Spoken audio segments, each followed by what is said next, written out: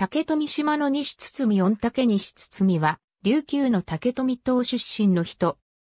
1500年、12歳の時、親家赤八の乱のため竹富島に遠征してきた、大府軍大将、大里味に、その聡明さを見出され、首里に連れられる。成人して、奉仕の家に仕え、学問に励んだ。石膏技術に長け、1519年には、延比や武音竹の礼拝所となる石門を建築したことで知られる。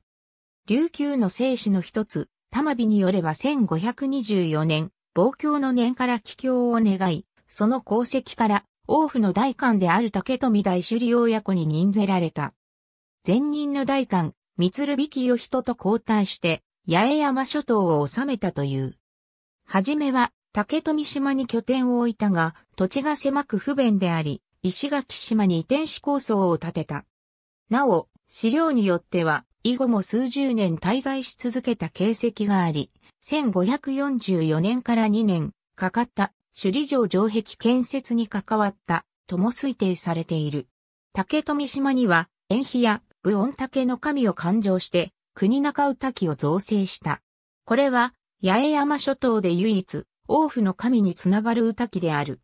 死後、竹富島には西堤宇滝が作られ、その功績を称えて、現在も信仰されている。竹富島に蔵元を設置し、八重山諸島を統括した。ありがとうございます。